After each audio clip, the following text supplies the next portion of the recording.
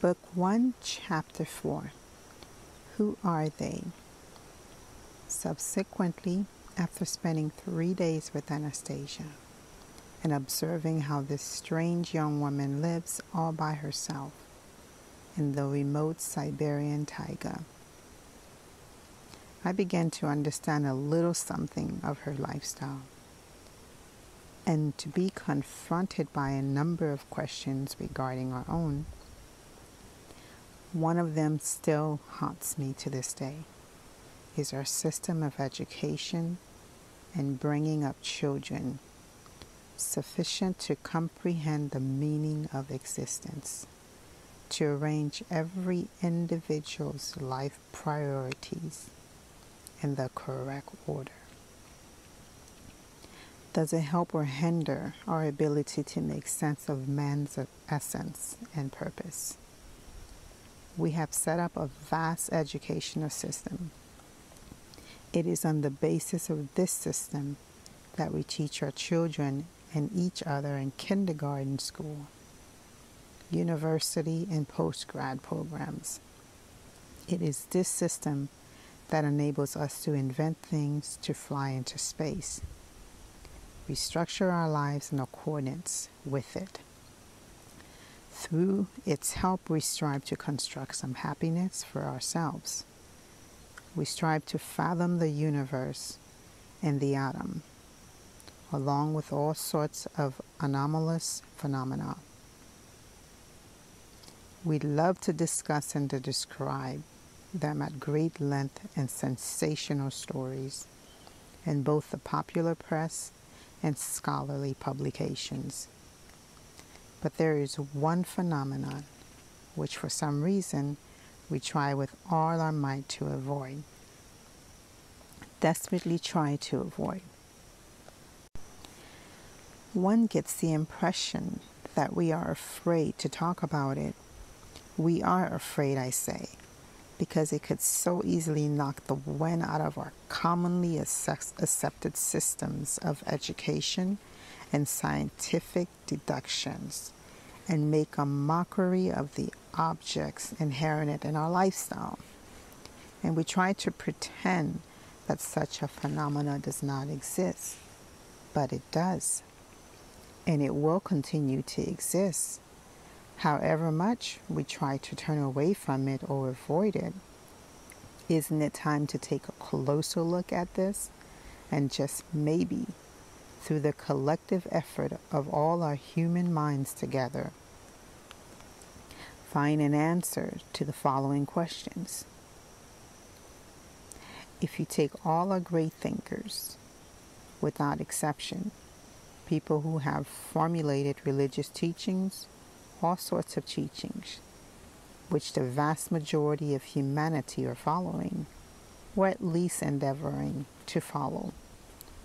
Why is it that before formulating their teachings, they became recluses, went into solitude, in most cases to the forest? Not to some super academy, mind you, but to the forest why did the Old Testament Moses go off into a mountaintop forest before returning and presenting to the world the wisdom set forth on his tablets of stone? Why did Christ Jesus go off away from his disciples into the desert, mountains, and forests? Why did a man named Siddhartha Gautama, Gautama who lived in India in the 6th century AD, spend seven years alone in the forest. After which, this recluse came out of the forest back to people, complete with a set of teachings. Teachings which, even to this day, many centuries later, arouse a multitude of human minds. And people built huge temples and call these teachings Buddhism. And the man himself eventually came to be known as Buddha. And what about our own not so ancient forebears? Now acknowledged as historical figures. Men such as Seraphim, Sarvitsky, or Savigrodnitsky, why did they too go off to become recluses in the forest? And how were they able, after a short period of time there, to so fathom the depths of wisdom that the kings of this world made the long journey through uncharted wilderness to seek their advice? Monasteries and majestic temples were raised at, at the locations of their respective solitudes. Thus, for example, the Trinity Sergiv Monastery in the town of Sergiev Posad near Moscow today attracts thousands of visitors each year. And it all started from a single forest recluse. Why? Who or what enabled these people to obtain their wisdom? Who gave them knowledge? Who brought them closer to understanding the essence of life? How did they live? What did they do? What did they think about doing their forced solitude? These questions confronted me sometime after my conversation, conversations with Anastasia. After I had started reading everything that I could lay my hands on regarding recluses. But even today, I haven't found answers. Why has nothing been written about their solitude experiences? The answers, I think, must be sought through a collective effort. I should try to describe the events of my three day stay in the Siberian taiga forest and my impressions from my conversation with Anastasia, in the hopes that someone will be able to fathom the essence of this phenomenon and put together a clearer picture of our way of life. For now, on the basis of all that I have seen and heard, only one thing is crystal clear to me. People who live in solitude in the forest, including Anastasia, see what is going in what is going on in our lives from a point of view completely different from ours. Some of Anastasia's ideas are the exact opposite of what is commonly accepted. Who is closer to the truth? Who can judge?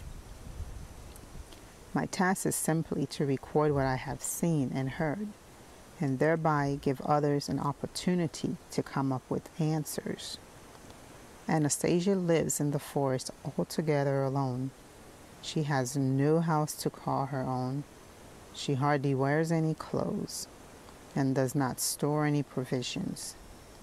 She is the descendant of people who have been living here for thousands of years and represents what is literally a whole different civilization. She and those like her have survived to the present day through, through what I can only term the wisest possible decisions. Very likely the only correct decisions. When they are among us, they blend in with us, trying to appear no different from ordinary people. But in their places of habitual residence, they merge with nature. It is not easy to find their habitual dwelling places. Indeed, man's presence in such places is betrayed only by the fact that they are more beautiful and better taken care of like Anastasia's forest glade, for example. Anastasia was born here and is an integral part of the natural surroundings. In contrast to our celebrated recluses, she did not go off into the forest simply for a time, as they did. She was born in the taiga, taiga, and visits our world only for brief periods. And on the face of it, there seems to be quite a simple explanation for the strong fear that overwhelmed me and made me lose consciousness.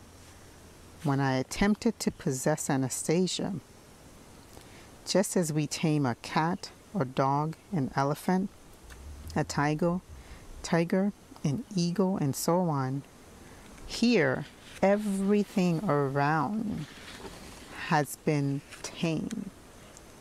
And this everything is incapable of permitting anything bad to happen to her. Anastasia told me that when she was born, and while she was still under a year old, her mother could leave her alone on the grass. And you didn't die from hunger, I asked. The Taiga recluse first looked at me in surprise, but then explained. There should be no problems of finding food for man. One should eat just as one breathes, not paying attention to the food, not distraction one thought, not distracting one thought from more important things. The Creator has left that task up to others so that man can live as man, fulfilling his own destiny. She snapped her fingers, and right away, a little squirrel popped up beside her, hopping into her hand. Anastasia lifted the creature's muzzle up to her mouth, and the squirrel passed them from its mouth into hers a cedar nut seed, its shell already removed. This did not seem to be anything out of the ordinary. I remember how back at the academic complex near Novosibirsk, a lot of squirrels were quite used to people and would beg for food from passersby and even get angry if they weren't giving anything. Here I was simply observing the process in reverse. But this here was the taiga, and I said, in the normal world, our world, everything's arranged differently. If you, Anastasia, try snapping your fingers at a, at a privately run kiosk or even beat on a drum, nobody would give you anything.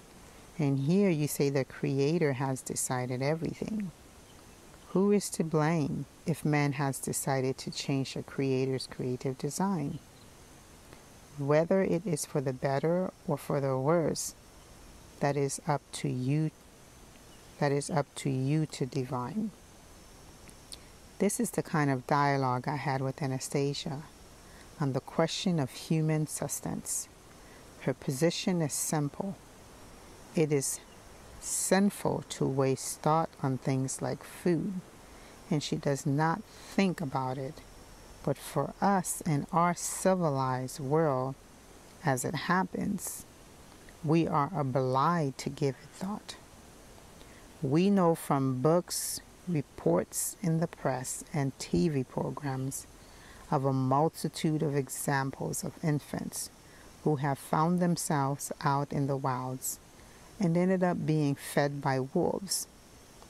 Here in the Taiga, generation of people have made their permanent residence, and their relationship to the animal kingdom is different from ours. I asked Anastasia, Why aren't you cold? when here I am in a warm jacket? Because she replied, The bodies of people who wrap themselves in clothing to hide from the cold and heat gradually lose their ability to adapt to change in their environment.